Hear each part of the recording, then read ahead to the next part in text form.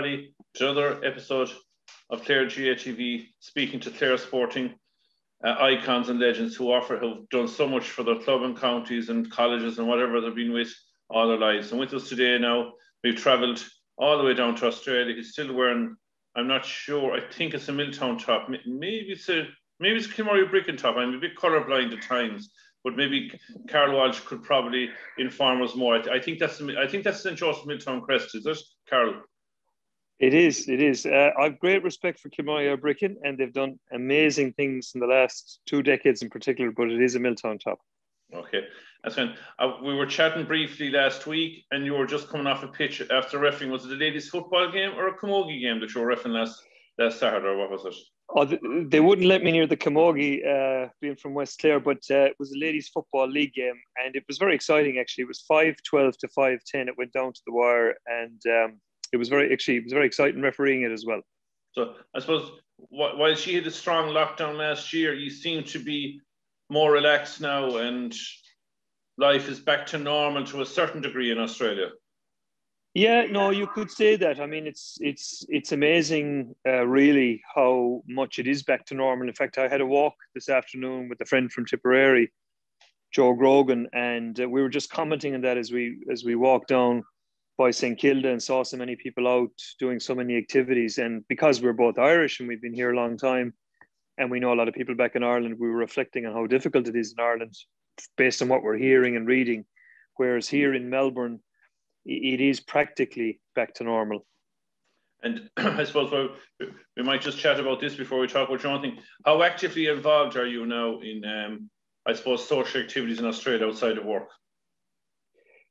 Uh, my wife would say uh, way too much involved, which sounds like a replay of our household years ago, where my mother described herself as a GAA widow, which maybe why wife is fast becoming. So, I mean, I'm coaching kids, uh, you know, underage here in, in Gaelic football. I'm the president of the of the junior club. I'm also a delegate on, if you like, our county board, which is Gaelic Games Victoria, which is relatively newly formed. And more recently, now I'm going to be on the board of um, Aus- uh, Australasia, uh, being our representative on that board. So I'm very heavily involved, uh, Michael, but enjoying every minute of it. And my son's involved as well, which which makes it you know great as well. He he uh, he's playing a bit of football as well as Aussie rules, so that makes it nice that he's involved. And my wife does take an interest if he's playing; she comes along to watch. And in fairness, I think she's happy it gets me out of the house. Fair enough. I suppose we talk. You're talking about your own families. Uh, give us just a, a, brief outline, I suppose, of your. I suppose your life and times up to when you were probably just say uh, a minor, and the people that you knew back in Miltown that helped you all the way. Yeah, sure. I mean, well, you know, Miltown, Miltown, Malbay, and its surrounds was a very rich and entertaining and wonderful place to grow up. I mean, I spent a bit of my life, obviously, in Limerick because Dad was stationed there in the army. But uh, you know, Miltown was um, I was a joy. I mean, you know, as you get older, you're probably reflecting this more in terms of a place by the sea. So we spent a lot of our summers at the White Strand and Spanish Point with my two best friends, who are still my two best friends, Seamus Laffin, who now lives in the Midlands, and David Hillary, who has a pub in the main street. And I knew their families well, their mother and father, and spent a lot of time actually with Jerry Hillary, who was a publican, David's father in the main street, and was a an amazing character. Uh, I do remember, you know, being at school in Miltown for a period of time when my my mother was uh, just had Lisa, who's my middle sister, and Micheál Friel was teaching us, who was a legend, you know, in the school, and uh, he was trying to drum Irish into us in a nice way, I must say, in a very civilized way. But I've great memories from that time, and in fact, David's brother Jared was in we were in class together, who was who was a lovely chap. He was also a lifeguard out in Spanish Point. And you know we knew all the lifeguards. Like Joe Kennelly was a great character, and you know we did the life saving classes, and there was lots of crack and entertainment around that. In terms of football, I mean, the first person, uh, my father obviously was a massive influence, but when I was younger, he just brought me out to the football field, and you know I was no different. I just went out and did my thing like all the other kids at the time. Now it's wonderful because it's boys and girls. That time it was it was mostly boys, but now, of course, it's it's it's as it should be, very equal. Uh, but Pete Cleary was the first influence. Pete was, I, he was a relation of Pather and Sean Cleary, who I played football with and won a champion. I was lucky enough to win a championship with in 1990. Two fine footballers, And Pete had come back, I think, from America because he had a very strong American accent. I always remember he wore a baseball cap and spoke with certain Americanisms, but he sort of introduced us to the game. And then, of course, as we got a little bit older and it got a slightly more sophisticated, Cyril Jones took over and he managed all our teams. He was a great Miltown goalkeeper and Clare goalkeeper, an absolute gentleman, uh, you know, great businessman in the town, came from an amazing family with a lot of history, of course, tied up with, you know, the black and tans and all that, because the jersey I'm wearing actually is a commemorative one commemorating 1920 and the three martyrs who lost their lives. Uh, and and I played with Cyril's son, John Jones, who probably was the most talented and outstanding footballer uh, for us underage growing up. And then, you know, then when we got to, you know, sort of, we were knocking on the door of the senior team. I mean, the most influential people were, well, Donny Buckley, who was our our coach and manager in, um, sorry, coach in 1990. But John Reedy also was a huge influence on us in so many. He put the fear of God into us, I must say, which was fine. I mean, I some of us responded pretty well to that, and I was okay with that. Um, that methodology. But John was an amazing guy. He did so much for the team, so much for the club, and so much for the town. Um, John is an icon of Miltown GAA, a wonderful person.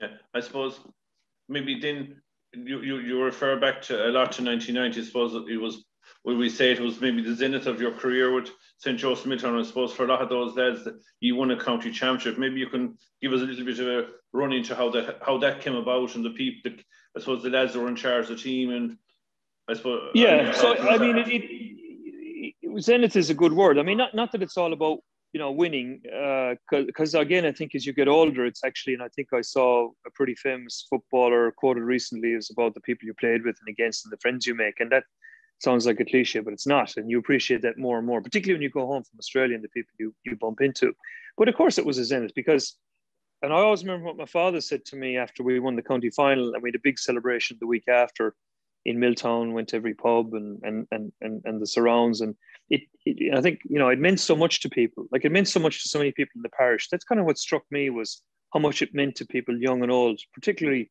say more mature people, you know, who mightn't have seen Miltown win. Although we won it in '85, but you know, my father said to me, "Treasure, because you might never win another one." But of course, when you win one, you're relatively young. You think it's going to be like this every year. And we got to the county final the following year, but beaten by Doonbeg.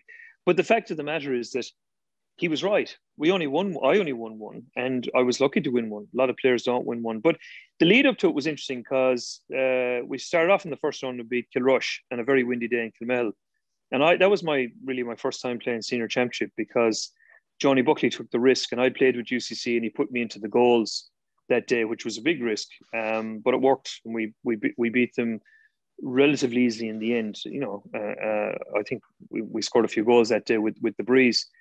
But then we had a very tense encounter, I think, with um, in the semi final with Cooraclare. In fact, there was a little bit of controversy with myself where a ball I didn't handle that well.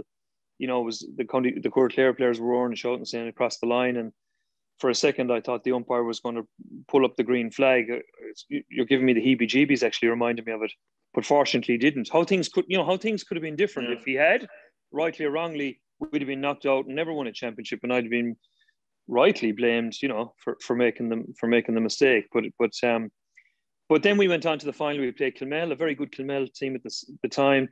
One of the best players in the field was a guy called Brendan Brown playing centre back, who I played with the county level. A fantastic fella and a lovely guy, and they had a very good side. And and um, it was a, you know it was a reasonably dour encounter. If you look at the video now, football was a bit different that time. But um, Sean Burke was the X factor that day because he he was the opportunist who got the goal but I must say that the players that stood out for me that day and in that campaign were Martin Flynn at one end, who won the man of the match that day deservedly, and very close to him was Jerry Curtin at fullback.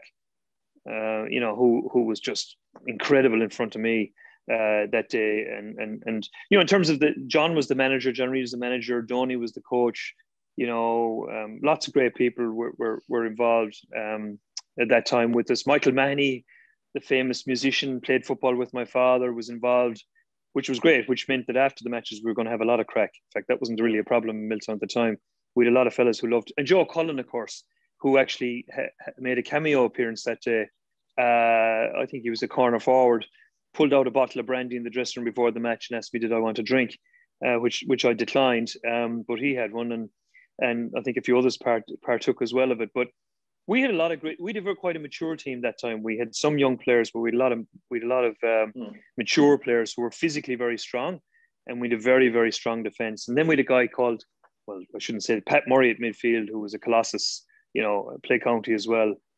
So we were very fortunate the players we had and the support we had, both you know on the sideline and in fact through the whole town. Yeah, I suppose. I suppose then you you got on the Clare senior football panel. You were on it for uh, a number of years, I suppose. I mean, the highlight obviously would have been in the involvement in 1992. But I suppose out of that, outside of the 1992 um, role, what was your key memories of being involved with Clare teams? Yeah, when yeah. I was a sub in '92, and and and and rightly so, because James Hanrahan was was the goalkeeper. James Hanrahan was a better goalkeeper than me, and always was a better. And I would always say that. Um, but you know, I tried to compete with him as best I could, and you know, I'd be very, you know, I'd be very honest with this. I was fortunate to break into the team, and and he was unfortunate to be out of the team at times because he James Hanrahan was a class player and probably should have been an all star in my view. He was one of the most talented footballers ever to play for Clare, and certainly in my view, the best goalkeeper ever to play for Clare, despite I think a recent um, vote on that. Um, but that's my that's my view. I'm a big fan of his.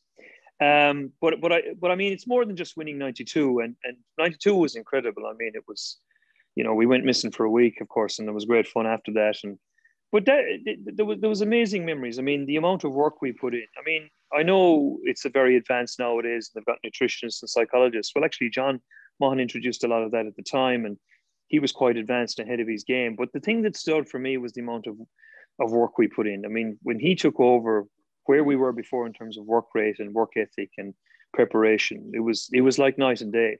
And we all learned to well, you, you didn't keep stay on the panel unless you embraced the work, whether it was Crusheen or in Lahinch. I mean, all of what happened was true. You know, there's there was no legend there. It was just hard work, you know, week in, week out. And then the work that you would do on your own. Like I was I was working in Limerick at the time and I was a sub keeper, but I would go out and practice my kickouts on my own at lunchtime, you know, we were that dedicated. You know, you'd take off your suit, you know, go and kick the ball in and out, practice your kickouts until you got a chance. And, you know, whenever that chance would come, I had to wait over two years to get a chance, nearly three years actually. Uh, but everybody was dedicated like that. All the subs at the time were very dedicated, meant to get on the team.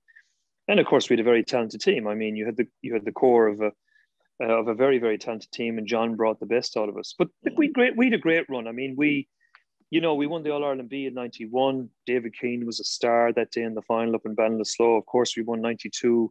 We gave Dublin an awful rattle in the semi final. We were the first ever Clare team to make Division One in 93 when we beat Monaghan. I was lucky enough to play that day. Uh, and play and we played in Division One, although we did come straight down. But you know, I, I suppose, Carol, a lot of people forgot about the fact that you were in the top eight or ten league teams for two or three years, and that is often hidden by the fact that because of the Munster Championship, your, your consistency over half a decade in the top leagues was was sort of sidelined a little bit. Yeah, it was sidelined. I mean, you know, we we, we narrowly lost to Tipperary in '94 in the semi final. We're a bit unfortunate there, but you know, at the end of the day, in the championship, unfortunate doesn't work. You either win it or you lose it, and that that took a lot of momentum. And of course, John John stepped away after that, which was a, a huge loss to us, um, which was such a shame you know, if we if we'd got through in '94, who knows what would have happened? Because we certainly had a lot of belief and a lot of confidence, and we were well able for Cork and Kerry at the time. You know, in Division One, I think we learned a lot. Whilst whilst we, I think we won one match and drew one match and lost the rest. The only match we lost badly was up against Derry and Bellaghy in late '93. I remember that day every single ball I kicked out. That time there was no short kickouts. It was kick it mm. long, and Anthony Tohill kicked every caught every single ball, whether it was left, right, or in the centre. I think the only player who played well that day was John Enright, who was outstanding on Damien Cassidy. Um, but but but you know, against Dublin we lost by two points in Ennis. You know, some of the games we lost very narrowly, and we learned a lot. So you're right, we were a very competitive team for a good period of time. And then John O'Keefe came in, and I think we were pretty competitive when he came in. I mean, I was on the panel for seven years. Then there was a gap. I went to Russia, and then I came back, and Tommy Curtin brought me in for years. So I suppose all told, it was about eight years on the panel. Uh, but and John O'Keefe brought something different, and of course he he he, he got he got them to a Munster final, uh, which which was an achievement. But uh, no, Clare Clare football has changed ever since because now we are a dual county in my view. Whilst the footballers are not up where the hurlers were for you know a long period of time, we're we're genuinely seen as a as a competitive county and being in, you know, relatively speaking, near enough the top bracket, and that all came from that era, and Yes. John Maughan. And it, when you you won, you had a very successful tenure when you were a student in UCC. You could maybe tell Mm. us something about that. Yeah, I, I'm. I, my father kept saying to me, "You're the luckiest footballer alive," and I, I, I think I, I think he was right. He was right in most things. In fact, he used to say that at meetings that he was always right. So maybe he was right most of the time. But you know, now that he's gone, we'll, we'll say that anyway. But um, yeah, I mean, I was in UCC, and I think we won the my first year. We won the Freshers Cup, which was you know for first years in Limerick. That tournament was very competitive, very talented footballers playing for all the various universities. But obviously, the cream came on top in my third year. I was doing law in uni when we won the Sigerson. Lucky for me, the goalkeeper was Roscommon intercounty. He finished college, or if, yeah, the year before uh, I got into the senior team, and I got in. And Barry Coffey it was Barry Coffey put me in goals because I was injured, and he said, "We want you to play in goals. You have a good kick out, and you have a fair, you know, reasonable pair of hands." And you know, he said, "You know, we think you can you can do well there." So of course, I remember ringing home saying, "What am I going to do?" And Dad said, "Listen, playing the goals, you're going to be on the team. Give it a go because the rest of them are Dub- are Cork and Kerry intercounty players. You know, mine are under 21." So I took his advice, and that's what I did. And um, the rest was history. We won the Sigerson that time. You played three matches over the weekend, Yes. uh, three in a row. So for which for the outfield players was was huge. I mean, I remember the how sore they were the night of each match, and they'd be getting into the bat. That time there was, you know, we'd no backup team, so fellas getting into bats and sticking ice on themselves, and you know, doing their best to limber up before the next day. And we beat um, Jordanstown in a shock result in the uh, quarter final, and then we beat Maynooth, luckily in the semi final, and then we beat UCG, who had Pat Vaughan um, and um, one of the twins from Kilfenora on the team, Aidan, uh, in, in in the final, and we were fortunate to beat them. But we had we had the X factor. We had Maurice Fitzgerald in three games. Michael, he scored one goal and seventeen points in three days. Yeah. He did not miss a free, any free from the forty-five or inside. He did not miss it in three days. And people don't appreciate how difficult Sigerson is. It's not the beautiful stuff of summertime, but it, it does it like for the likes of Maurice to get that tally and, and probably the hits he was taking in he wouldn't you wouldn't be protected like you would be at intercounty level. So for to, for him to tally that and for lads to play three games and as you're saying there wasn't a medical scientific backup. It was real old old school. It, it, you found your character. Yeah, you did. And look, I, I'm not. I, I'm not. The, I'm a very. For, I am incredibly fortunate to have been on that team and won that. In fact, it's only this. I know saw my father cry two days ever, and that was John uh, Marnin's funeral and the day we won the Sigerson. John Marnin from Miltown, and uh, who who lived on the Flag Road as we did, and Marty Marnin's son. Marty was was a legend of the club, as as was John, and. Um, anyway, uh, I, will never forget that day. And a lot of Clare fellas, a number of Clare fellas, like Liam Keneally and Dara Blake and, and some others have gone on to win Sigerson. But you're you're right. That format was really tough, and uh, Maurice was uh, was exceptional. But you know the thing that I remember from that as well, Michael, is you talk about the lead up. Maurice Fitzgerald would go down to the Mardyke five days a week with a bag of balls with myself, and I would kick him out to practice the kickouts, and then he would kick the frees. Five days, every single week for weeks on end before the Sigerson. So it wasn't an accident he was doing it. Who, whose yeah. idea was that? Was it was it Mick Dwyer was it Mick was Mick over the team? Was he suggested or you take it on yourselves? No, I know. Well, well, we took it on. Our, well, he took it on. I mean, I don't deserve the credit for that. He would say to me, "You," because you know he was Hugh Kerryman. He needs someone to kick the ball out to him, so he might as well get the goalkeeper. So you know, um, but no, but uh, Maurice was a, we we were great friends, even though he was he was a bit younger than me. But through the football, we were wonderful friends. And it was his idea to go down because that was the way. But no, Mick O'Dwyer was our manager in first year. And then Mick went on to do other things. Then we'd Billy Morgan the second year. And then we'd Bob Honan. Bob Honan from Cork, who's passed away, uh, God rest his soul. He was the coach when we won the Sigerson. Very smart, canny guy who, you know, with limited resources at the time, he actually used thumb to go to the other matches to see the opposition that weekend. So when we were finished, he'd go and watch the other match he'd come to whatever neighbouring town they were on in in uh, in around uh, Kildare, and come back with the intel and share that with us. And um, no, he was a very good a very good coach. What's brought you to Australia, and when did you when did you go out? Yeah, well, Brenda, Brenda, my wife, who is who's from Limerick, but has a very strong, by the way, Clare connection. Um, uh, she, her, her father's family are from Magonalow, and in fact, sadly, her father passed away right. on Christmas Eve. Yeah, which was very sad. And they played they played hurling, um, and he played hurling, and in fact he played hurling in London, and and uh, he helped out uh, one of the clubs in London there for for quite a while when And he was there. his, what, what's his name? What what was her- Michael Michael O'Farrell was his name. Michael O'Farrell, and he's married to Patricia O'Farrell, who's from Leitrim, who's who's still alive and resides in, in Limerick, Okay. and and the rest of the family are in and around Limerick. So um, anyway, where was I? I got going lost. to. Australia. Yeah, so we got married in 01. Brendan and I knew each other quite a while. We were in university together, and we, you know, we knew each other from being around the traps. And she had come back from America, and I'd come back from Russia, and I was in Dublin, and we met, and we got married. And long story shortish, and then we said, listen, why don't we travel while we can? So we said, okay. I was working for General Electric, and we said, let's let's go to Australia. And I transferred with the company, thinking we go for two years in 2001. So got married in April, and we went out in August via South Africa, a big adventure, thinking we'd be back, you know, two years Yes. later. Well, 20 years later, Michael, we are still here and with a 15 year old. That's right. So that's, yeah. So look, it's been a, to be honest with you, it's, I can still remember the day we left. I can still remember the day we arrived. Uh, time flies, you know. And you mentioned um, Dara Blake. Is there and is it are Dara and Dermot outside with you at the moment?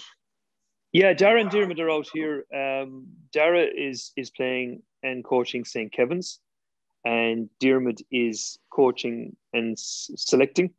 He's he has an injury, so he can't play. And my club is Padraig Pearse, so we're sort of competing with them on the club front here. But of course, because because I know them and we know each other, we, we get on famously. And I, I was speaking recently. I interviewed uh, Garrod Considine, a friend of yours. Yes. We, we all know him from Cratloe, and he gave a brilliant interview. Yes.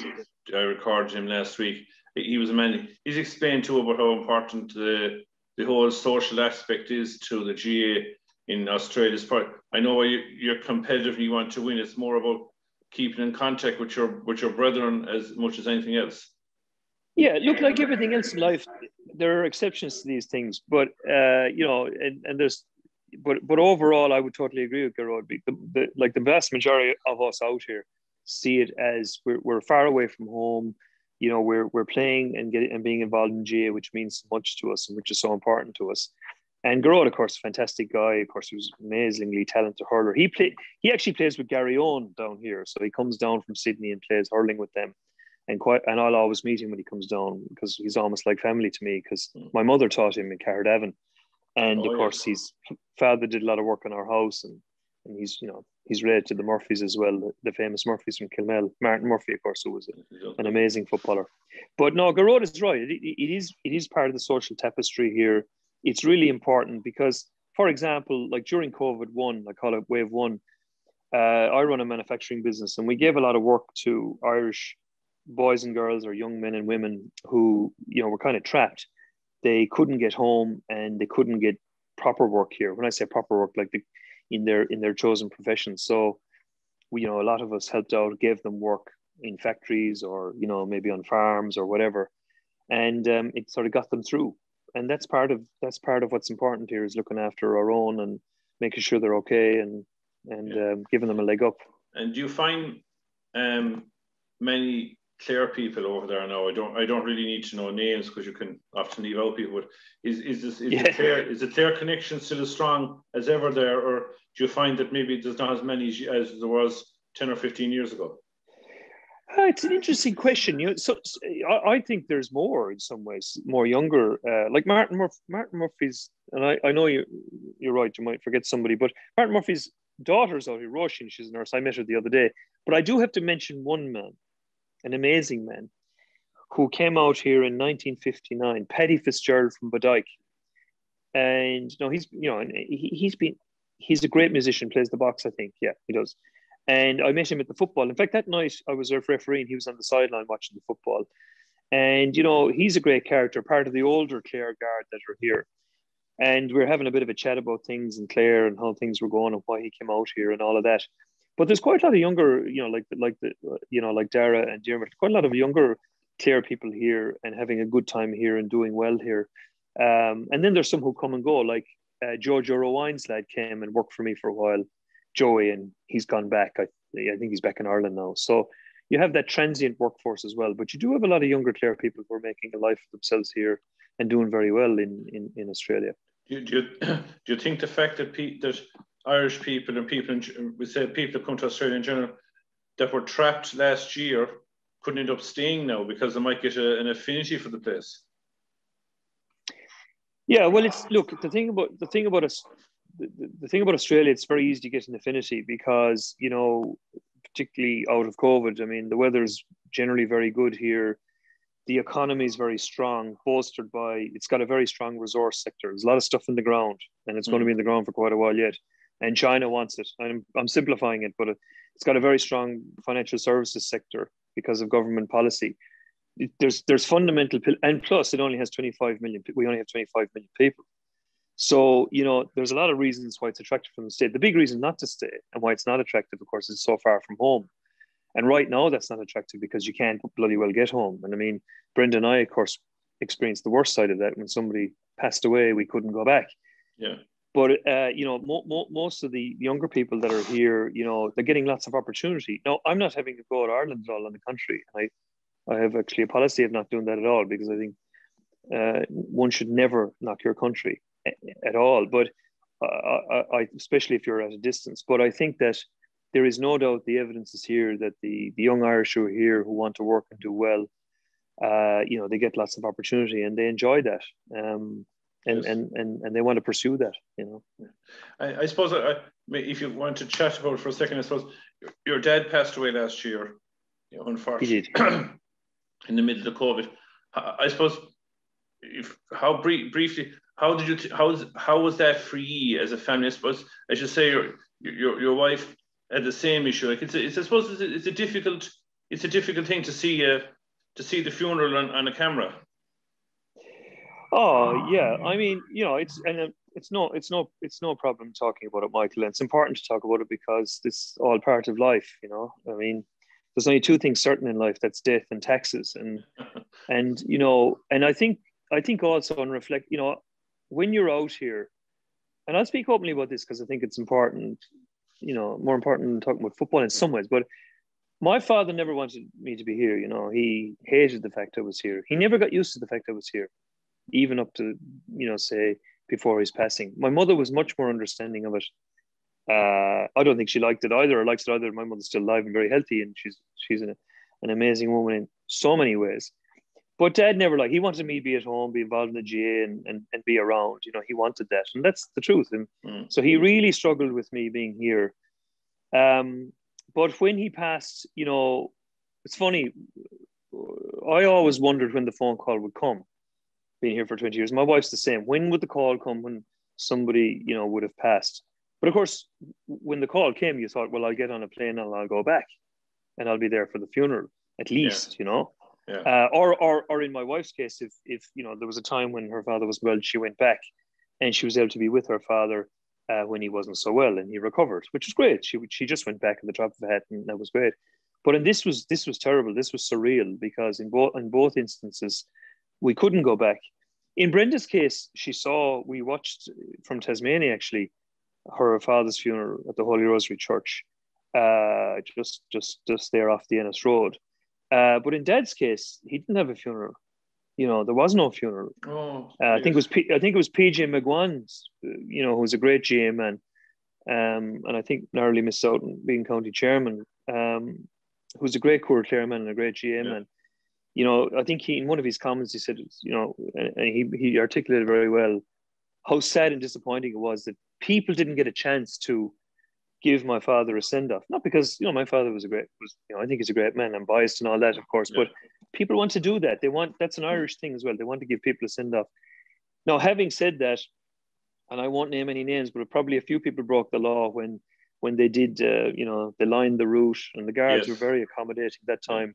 And that and my friend David Hillary commissioned that video to be made mm. uh, of Dad's hearse going through the town and that was pretty special. And yeah. also the you know the fact that they were able to have people at the grave. And I'll tell you, not only did the Miltown Club uh, do very well that day, the Kilmurry Ibricken Club were also very good that day. So we're very appreciative of of all those people's efforts.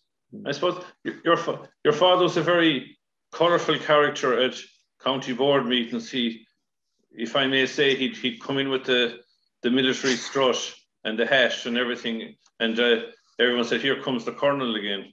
But he, he was a very, um, how would I call it? He'd a way when he stood up, maybe a certain percentage one might say, oh God, he, Noel's at it again. But he, he, he really fought for the little men. And he, he thought very differently to most people. He had a broader mind for an Ireland that was maybe not as broad at the time. Yeah, look, my my my father, you know, like all of us, uh, wasn't perfect. Uh, you know, we're all infallible in the mm.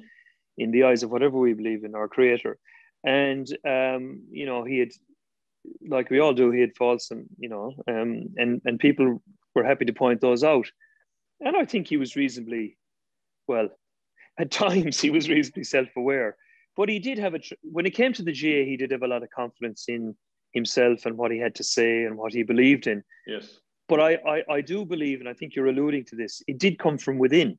You know, like he passionately believed in things, not for the sake of the agenda or or or the particular moment. If he believed in something, he really truly believed in it and thought it through. Now, my father thought about the GAA 24-7.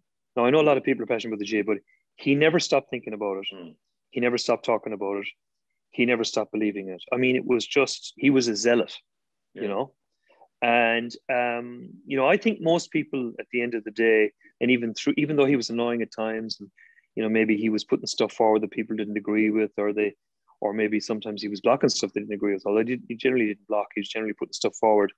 I think he had a lot of respect across the county. I think both so, yeah. on the football side and the hurling side. I think I think a lot of his ideas were ahead of their time, and maybe yeah, in 1990s Ireland they weren't as accepted as much as they might be now, and there might be people now putting forward suggestions that won't be seen as practical for another 20 years. So why and he, as I said, he, he he fought for he he fought for his cause, but it was it was in a democratic way. He'd always accept another point of view. Oh, no, he, he, This is interesting you say that because I mean I would see the aftermath when he would come home, and you know, not that we, you know, when I was younger we wouldn't do a major debrief on the meetings, but you know, I would talk. To, I spoke, talk, and I think I mentioned this when he passed. I wrote a little piece of the champion. and We spent a lot of time together. I was very fortunate from you know from from a young age to when I was 30 I spent a lot of time with my father. Not everyone can say that. I was yeah. blessed you know. Yeah. but of course the fact that we had a common interest we were, I was very lucky. You know not every and and you know kids are different. My my lad is not as passionate about the GAA as I am. So he's passionate about other things right? Skateboarding and rap music. And so you got to go with the flow right? Although he does like sport but not as he's not as obsessed as as I am. But the, the thing is that um, he and it's interesting what you said about the small person you know, Dad was quite critical as well. He could be very critical of players and critical of what things would happen. And that, you know, even I, well, I would get that as well. But but but it was always coming from a position of we could do better, we can improve, you know, we could, we can advance. Whether it was the club or whether it was the junior team or whether it was whether it was the senior team, so it was coming always felt coming from from the right place. Um, but you know, the one thing also he he truly believed in was he was all about the players. You know, some administrators thinks about the administration his view was that he's all about the players and whatever we do must be for the players and about the players. And he truly and passionately believed that. Yeah, I suppose just to maybe to wrap up a bit, um, where would you see yourself in 10 years' time? I suppose is, is Australia now your your base for good and glory, or would you? I, I presume when was that actually? I meant to say when was the last time you were back in Ireland? I was back in Ireland. Uh, I was just talking about this today. September last September, 12 months ago, I was back. Uh, and obviously I, I, was I met everybody and I was with everybody and, and it was wonderful. Um, we, in the 20 years we've been here, we've gone back on average one every, once a year. So we've been back a lot. So you're keeping uh, connections. And, yeah, well, that was a commitment I made to myself. I said, I said, I've come a long way. You know, it was hard for dad in particular and mom. Mm. And uh, I, my commitment to them and it's you know it was a big commitment because financially it's a lot and whatever, but was to get back every year. And on average, that's what we did. Now the fact that Brenda's from Ireland made it easier as well because we were heading in the right direction for the right yes. for the same purpose. But the interesting thing about that, Michael, is that is that when you know a bit more deeply is that Matthew, our son, who is an Australian, has a massive connection to Ireland, massive connection to both sides of the family and his cousins. And you know, he's been to Munster finals, he's been to lots of hurling matches as well. He's played a bit of hurling here as well, by the way. I played up in Sydney uh, uh, in in an invitational hurling tournament, and which was a great experience for him. And so his connection to Ireland and its culture and and its people, is, you know, was, was a byproduct of going back so often, which I didn't know at the time would be the key the case, but is a fantastic thing. And he wants to even go back and study in Ireland, maybe in third level, go back and study there if he can. UCC probably. Well, preferably, but you know, uh, you know, and you, you asked me where it would be in ten years. Well, I don't know about you. Are you, you know, I, I don't know if you're married, Michael. Yeah. Are you married? No, I'm not. Okay, well, all right. Okay, well, I'm married, and and you know, generally speaking, um, she must be obeyed. So, if I go by that principle, we, we won't be going anywhere. She, my wife Brenda, loves it here. She's got she's a she's got a great job here. She's a social worker. She loves her job. She loves her friends. Uh, she loves the place. You know, Matthew grew up here. He's going to school here. So, you know, I wouldn't do anything to to disrupt that. Um, and you know, I'm I'm I'm happy here too. I mean, I miss Ireland a lot. Uh, yeah. You know, I miss I miss my mother in particular a lot. But you know, the fact is, my my my family, my base is here, and and uh, they're very happy here. So the, the likelihood is we'll be here in ten years. I suppose we finish in a couple of uh, one one word answers to questions. Okay. Have I been saying too much, Mikey? No, no. Yeah. Oh God, no, no. This is this will make sure that you're remembered back in West Clare. Your most difficult right. opponent. I know you played in goal. At, who was your most difficult opponent in a Clare football field? Fellow you didn't a want to kick the ball. Team, team, team or individual? We will go by individual first. Was there anyone that you did not want to kick the ball out to because he used to embarrass you by kicking it back over your head? There was, oh, I'm trying to remember his surname. Uh, there was a marvelous club forward for Kilkee, Terence. I can't remember his surname. Um, he was a very talented player. Didn't might have made the county team. Played in the full forward line. He was incredible. I forget his surname now. Jer- Jerry Kelly will kill me, and Noel Roche will kill me. But I, he I, I was. I, I, O'Neill? No, I don't think it was O'Neill. He and I would say I would say from Doonbeg, because uh, Doonbeg, you uh, you know, were, were the team that we most respected back in the nineties. They were very dominant, and they were the backbone of the county team. Pádraig Conway was an incredibly dangerous. In the end, got all the credit he deserved. In the beginning, was bit un, was underrated. He was something else at club level. He was incredibly dangerous. And who was your Miltown's most difficult opponent as a team in your oh, time? Oh, Doonbeg. Dun, Doonbeg by a mile. Why was I that? Mean, with Doonbeg had ta- well, they had first of all very strong culture. You know, down there, not only in the team but across in the town and the village and the hinterland. Uh, everybody believed in, in in it. They were they were like they were zealots. In, I mean, in a good way, like my father, from from from the youngest to the oldest. Um, they had inc- and, and that time they had incredible talent. I mean, Pádraig Conway, you know, um, they had Francis McInerney, the Killeens, um, the, the Jerry Killeen, Kieran Mahoney, you know, incredible cornerback, one of the best defenders I've ever yeah. seen. I played behind him, you know, yeah. um, very effective. They had they had great talent. Uh, they had great people on the line, and and I'll tell you what, the, the village, the whole village and the and its hinterland was behind them.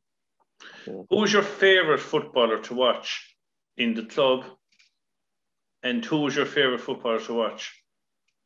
In Clare. Yeah. Who was your favorite club footballer in Miltown, and who was your favorite club footballer in County Clare? Is that a two I'm different? Gonna get, two, I, I'm going to get killed like answering from Miltown because if I if I miss someone out, but I think the player that excited me the most uh, watching him when he was fit was Sean Burke. Okay.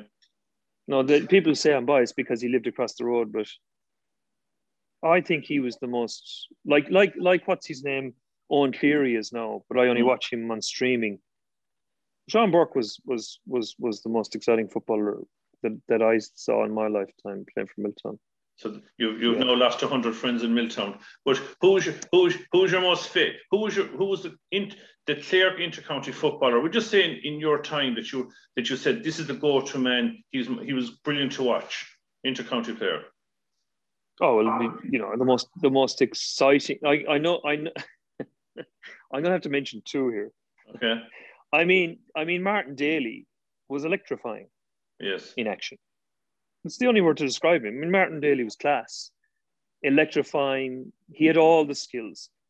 But of course, in terms of entertainment, I have to mention my great friend, Tom Morrissey, who yes. may not have shone for many years, but when he shone, he shone so brightly. Yes. So brightly.